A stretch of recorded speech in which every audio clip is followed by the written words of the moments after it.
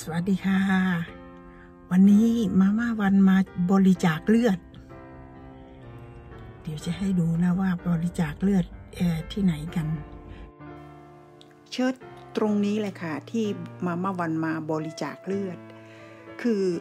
เริ่มต้นมาจากลูกสาวค่ะ ลูกสาวเข้ามาบริจาคเลือดก่อนค่ะ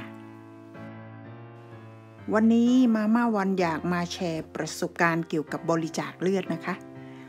ว่าเออเราทำยังไงถึงต้องมาบริจาคเลือดเนาะอยากจะให้รู้ความเป็นไปเป็นมาค่ะ ใครๆก็บริจาคเลือดได้ค่ะ ครอบครัวมามาวันสามคนเราบริจาคเลือดค่ะ เวลาเราบุ๊กออนไลน์ไปว่าเราจะบริจาคเลือดเขาก็จะส่งแบบฟอร์มไปให้เรากรอกก่อนมาหาเนี่ยมาหาเขาค่ะ เขาจะส่งแบบฟอร์มไปให้เรานะคะ สอบถามว่าเออเราไม่สบายไหมเราไปติดต่อกับคนที่เป็นโควิดไหมเป็นโน่นนี่นั่น เราก็กรอกเสร็จแล้วเราก็มาหาเขาที่เชิดพอเรามาถึงแล้วเนี่ยถึงเชิดแล้วเนี่ยเราก็นั่งคอยเขาเรียก แต่วันนั้นเราต้องกินน้ำเยอะๆหมายถึงว่าเริ่มกินตั้งแต่ตอนเช้าแล้วล่ะ อเรามานั่งคอยนะคะเราก็ดื่มน้ำไปด้วยอย่างเงี้ยก็นั่งคอยเขาถ้าเราเขาเรียกเราเข้าไปเขาก็จะเช็คดูว่าจิ้มนิ้วมือเราเช็คเลือดดูว่าวันเนี้ยเลือดเรามีไอออนเยอะไหมแล้วสอบถามแล้วว่าเเราโอเคไหม ที่เขาสอบถามหมายความว่าเราปวดหัวเป็นไข้ไม่สบายหรือเปล่าอะไรเนี่ยวันวันที่มาให้เลือด เราก็บอกว่าเราสบายดี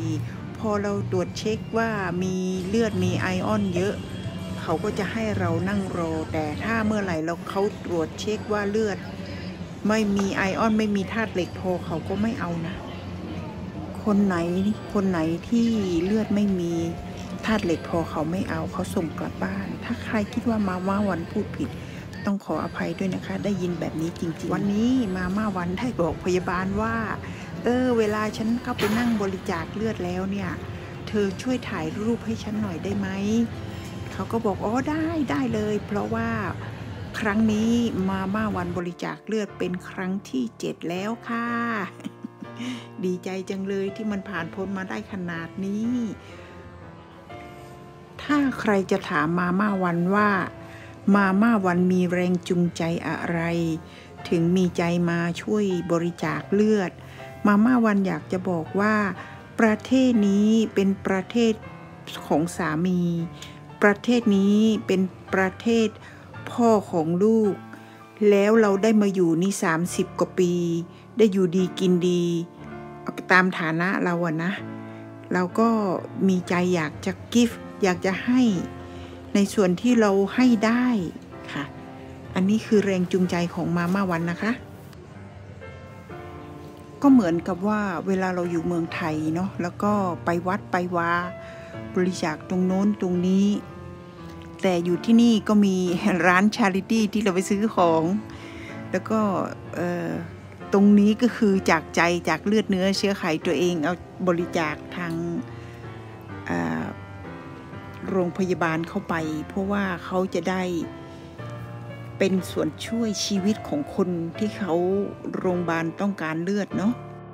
เอาละค่ะเพื่อนๆ คลิปนี้ก็เท่านี้ก่อนนะคะ แล้วเราเจอกันคลิปหน้า ขอขอบคุณทุกเลิฟทุกไลค์ทุกกำลังใจ ขอบคุณมากค่ะ เจอกันคลิปหน้า สวัสดีค่ะ